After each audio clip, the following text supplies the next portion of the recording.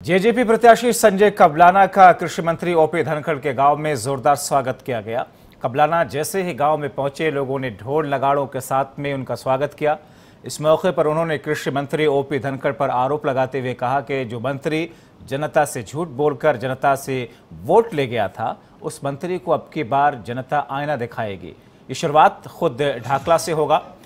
संजय कबलाना की माने तो जो मंत्री अपने गाँव का विकास नहीं करा सकता, वो हलके का विकास कैसे कराएगा?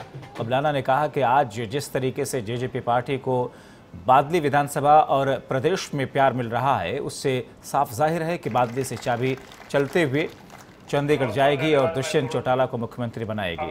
कबलाना ने ढाकला के अलावा हलके में गाँव का दौरा किया, जहाँ लोगों ने उन्हें आश्वस्त किया कि इस बार संजय कबलाना को जनता विजयी बना करके विधानसभा भेजेगी।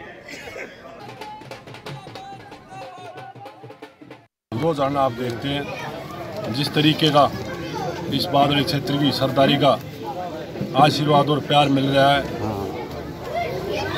बादल क्षेत्र की जनता ने फैसला कर लिया है और मन बना लिया है कि अब की बार हरियाणा प्रदेश में दुष्यंत की सरकार अब की बार संजय कबलाना बादली क्षेत्र से अपना बेटा और अपना भाई चुन लिया। है इस बादली क्षेत्र की जनता ने अपना आशीर्वाद दे दिया है और जब चुनाव की वोटों की गिनती होगी उस दिन ढोल नगाड़ों के साथ ये जनता अपने बेटे को आशीर्वाद और प्यार देगी।